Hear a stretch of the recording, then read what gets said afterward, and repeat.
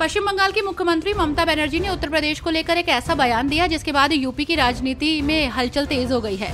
तृणमूल प्रमुख ममता बनर्जी ने कोलकाता के आरजीकर अस्पताल की घटना पर बोलते हुए कहा था कि अगर पश्चिम बंगाल में आग लगाई गई तो इसका असर उत्तर प्रदेश, असम, पूर्वोत्तर, बिहार और झारखंड, ओडिशा और दिल्ली में भी पड़ेगा। वहीं उनके इस बयान को लेकर अब बीजेपी और समाजवादी पार्टी की भी प्रतिक्रिया सामने आई है।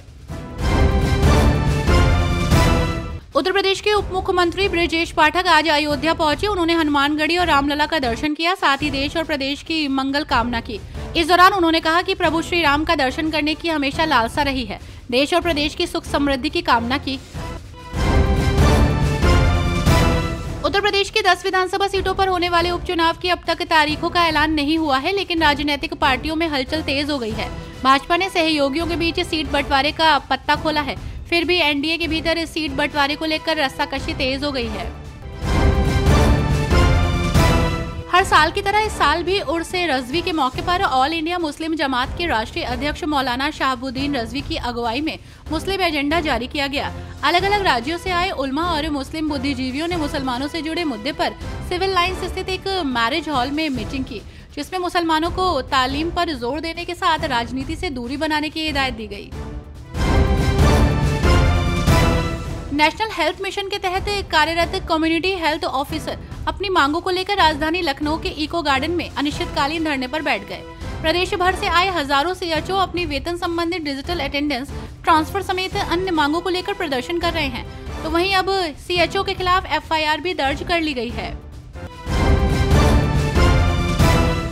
राज्य सड़क परिवहन निगम ने एक बार फिर पुलिस भर्ती परीक्षा के अभ्यर्थियों को मुफ़्त सफ़र कराने को लेकर कमर कस ली है। चौथे और पाँचवें चरण की परीक्षा 30 और 31 अगस्त को होगी। इसी के मद्देनजर एक बार फिर से परीक्षार्थियों के लिए रोडवेज़ बसों में, मुफ़्त में सफ़र का मौका मिलेगा। परीक्षा की तारीख के एक दिन पहले से लेकर एक दिन बाद तक परीक्षार्थी प्रदेश भर में रोडवेज़ बसों से निःशुल्क परीक्षा सेंटर तक पहुँच सकेंगे। कांग्रेस नेता सुरेंद्र राजपूत ने पश्चिम बंगाल में रेप हत्याकांड मामले पर बीजेपी पर हमला बोलते हुए कहा कि महिला और न्याय और उसके रेपिस्टों को फांसी मिलनी चाहिए। इस मामले के जो भी दोषी हैं, उन्हें कानून के तहत कठोरतम दंड मिलना चाहिए। लेकिन जिस तरीके से भारतीय जनता पार्टी के लोग, बंगाल के लोगों को उकसा रहे हैं और अस्थिर करने की कोशिश कर रहे हैं, जो लोकतंत्र को कमज़ोर बना रहा है। लखनऊ को बहुत जल्द ही अंतर्राष्ट्रीय स्तर की शूटिंग रेंज मिलने वाली है। इसकी तैयारियाँ शुरू हो गई हैं। अमौसी में एक करोड़ की लागत से इसे बनाया जाएगा।